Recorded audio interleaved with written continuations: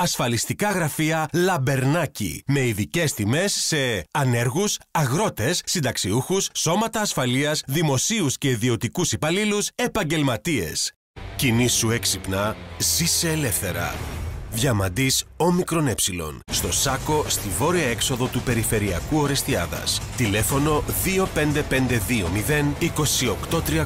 Δεν καταφέρετε να πάρετε σήμερα εδώ στο γήπεδο της Ορεστιάδας από ένα παιχνίδι που σίγουρα θέλατε τους τρεις βαθμούς της νίκης. Ε, σίγουρα ήρθαμε για να δώσουμε μια μάχη σήμερα. Προηγηθήκαμε, πιστέψαμε στη νίκη. Δεχτήκαμε ένα γκολ ε, πριν το τέλος του πρώτου ημιχρόνου. Μετά στο δεύτερο ημίχρονο δεχτήκαμε και το 2-1. Στη συνέχεια παλέψαμε όσο μπορέσαμε το παιχνίδι, σε ένα αγωνιστικό χώρο που δεν παίζονταν ποδόσφαιρο, πιο πολύ με την ψυχή θα κέρδιζε ένας από τους δύο.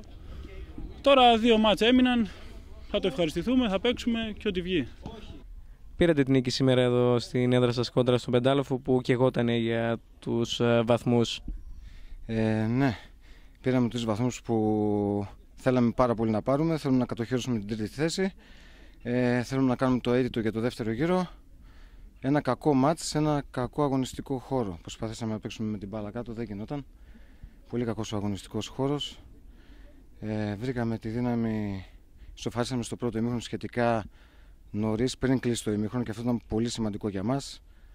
Μας έδωσε φτερά για το δεύτερο, μπήκαμε δυνατά, πετύχαμε το δεύτερο γκολ και εκεί νομίζω τελείωσαν όλα. Δεν απειληθήκαμε ιδιαίτερα, μόνο από κάτι στημένα.